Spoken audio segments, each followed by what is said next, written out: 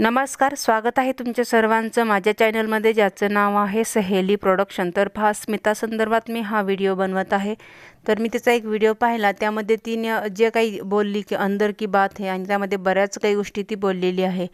तर मला फक्त म्हणजे बऱ्याच जणांनी तो व्हिडिओ तर पाहिलाच असेल. ज्यांनी पाहिला नसेल त्यांना या थंबनेलवरून माझ्या व्हिडिओमधून किंवा पाहिल्यानंतर त्यांच्या लक्षात येईलच की नेमकं तो व्हिडिओ कशा संदर्भात होता.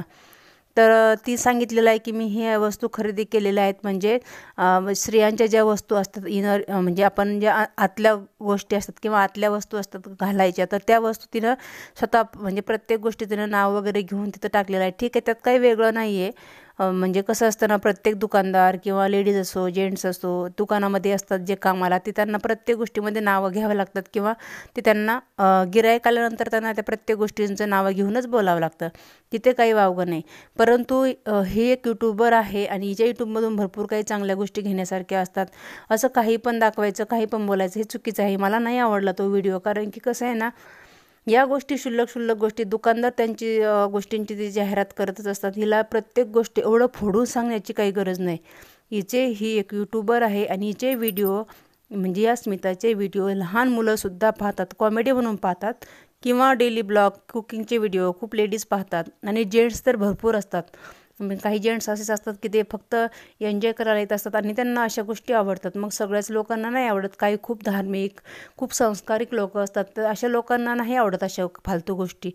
आणि हिचं कसं असतं ना माहिती का? एवढं दाखवायचं ना एखादी गोष्ट जर सांगितली किंवा दाखवली तर एवढं पाणी लावून किंवा एवढी घासून घासून एवढी ताणून ताणून दाखवायची की बस विचारतच सोय नाही. कारण की हिला प्रत्येक गोष्ट एवढी म्हणजे इंटरेस्टिंग सांगायला खूप म्हणजे भारी वाटतं. कारण तिला असं प्रत्येक गोष्ट असं त्याला जास्त वेगळ्या रूपात किंवा वेगळ्या स्वरूपात हसून कॉमेडी करून काहीतरी सांगायचं. अरे तू कॉमेडी कर काही कर परंतु वेगळ्या विषयावरती कर. अशा अशा फालतू गोष्टीवर करू नको. लोक कमेंट्स करायला येतात मग तुला राग येतो.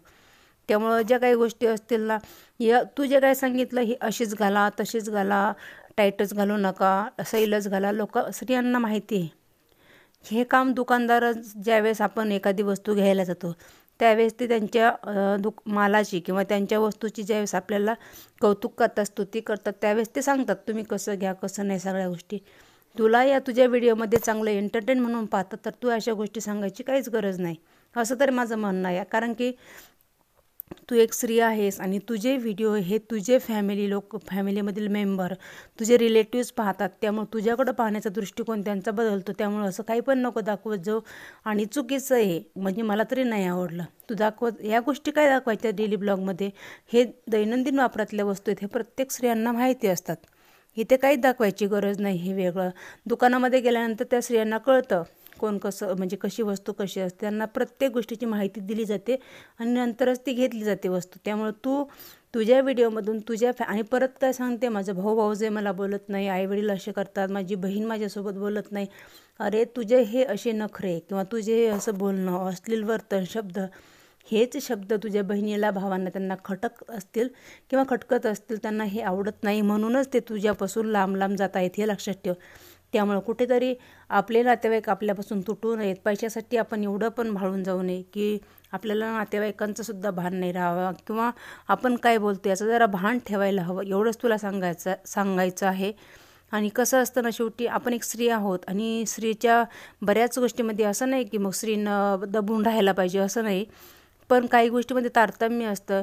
आपली भारतीय संस्कृती कशी असते? बऱ्याच गोष्टीमध्ये आपण थोडंसं आपल्या रिलेटिव्जला हे गोष्टी आवडत नाहीत. त्यामुळं चांगल्या लहान मुलांवर किंवा चांगले लोक असतात खूप धार्मिक सांस्कारिक लोक असतात अशा लोकांवर प्रभाव पडू नये वाईट.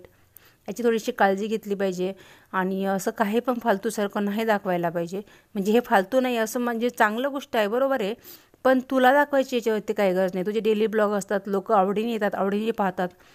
ह्या गोष्टी तू म्हणजे असं काही पण वेगळ्या शब्दामध्ये बोलायचं आणि मी हे घेतलं मी ते घेतलं आणि असं म्हणून दाखवायचं बोलायचं. कुठेतरी हे मला नाही आवडत. कारण की तुझे फॅमिली मेंबर पाहतात आणि तुझ्या घरच्यांना पण ते पाहायला जरा ऑड वाटत असेल.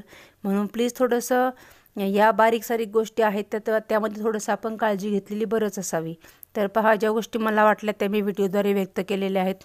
तर याच्यावरती तुमचं काय मत आहे? कमेंट्सद्वारे मला तुम्ही नक्कीच सांगू शकता. भेटूया पुढील व्हिडिओमध्ये धन्यवाद.